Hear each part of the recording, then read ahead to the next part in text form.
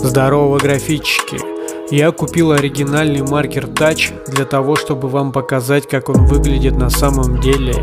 И чтобы вы не сравнивали с китайскими закосами под оригинал. Итак, каждый маркер Touch оформлен в индивидуальную упаковку.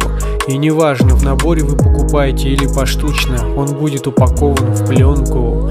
Производство маркеров Корея, не Китай. Наконечники японские, так же как и чернила.